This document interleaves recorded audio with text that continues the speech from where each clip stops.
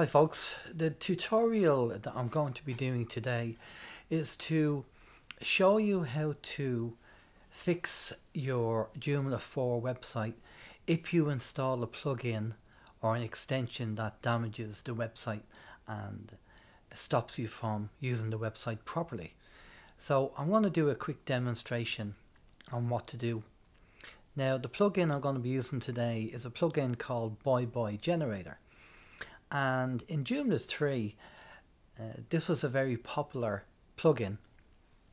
And basically what it does is when you look at the source code of your website you see uh, an option here or well you see some script up here meta name generator Joomla open source content management which is not a really uh, good thing to see on your website there.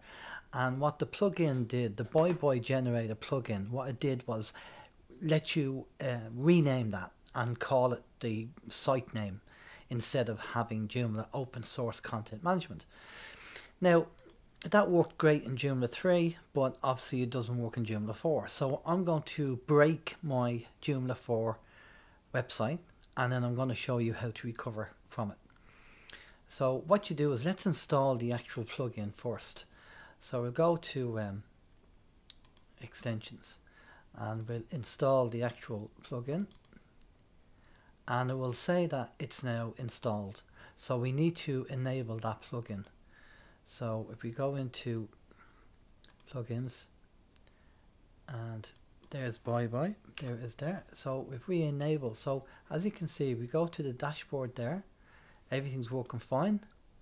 We go into plugins and there's bye bye generator. And if we uh, enable the, enable this we won't do anything with it. We'll just enable it and we'll save it. Bang. It's now damaged or corrupted the actual uh, Joomla 4 backend. Admin. Now if I go to dashboard nothing is it doesn't return. It won't let me go to the dashboard. This uh, error message comes up there and I can't do anything.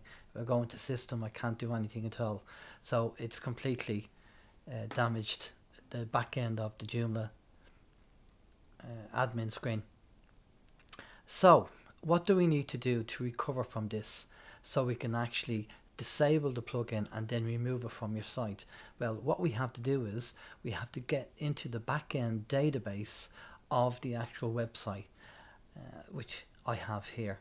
So this is the PHP MyAdmin and I'm into the actual Joomla 4 demo, which is the actual website and what we need to do is we need to find that extension so we can disable it.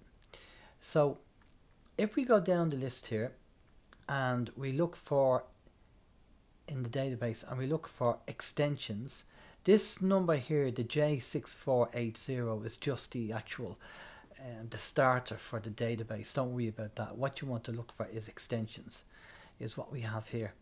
Okay so there's extensions there Okay, so what we need to search for in extensions is we need to search for the the actual plugin which is called Bye Bye Generator. So if we go to search and then we, we need to look for the actual name of the actual plugin. So what we do here is where you have name here, we want to do just a general search. So if we change like and we change it to like like sounding like something similar and we type in boy and we hit enter. There's the package there. There's the actual plugin package in the list. And if you come over here you'll say you'll see that it says enabled equals one.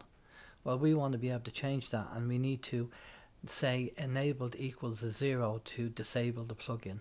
So what we do then is go over here to edit and if we go down the list we'll see enabled equals 1 where we just change that to a, a 0 and then we just scroll down and we click on go. And that will now change enabled to 0 so if we go to the back dashboard of the Joomla 4 site and then click on home dashboard it's working again because the plugin has been disabled. And we can confirm that by going into plugins and there's bye generator and it's disabled. So that's how you do it. Now what you would do is obviously you know that this plugin doesn't work and it crashes your system. So you then go into that. You'd find the generator you click on that and you don't install the actual plugin. And it's now gone from the system. Okay and we're back up and running and the dashboard is working.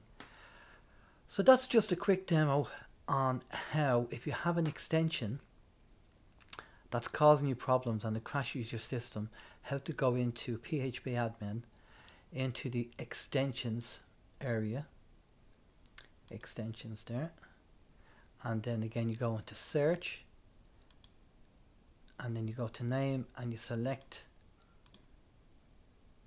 like and then obviously the two signs there. And then you type in the plugin or the extension you're looking for and then you disable it and then you go back in. So that's just a quick demo on how to do that just in case you get into trouble.